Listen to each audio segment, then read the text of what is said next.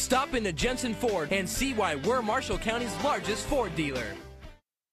You will love this Inferno Red Crystal Pearlcoat 06 Chrysler Sebring, equipped with a 2L 4 double overhead cam, dual overhead cam, 16V engine, and an automatic transmission.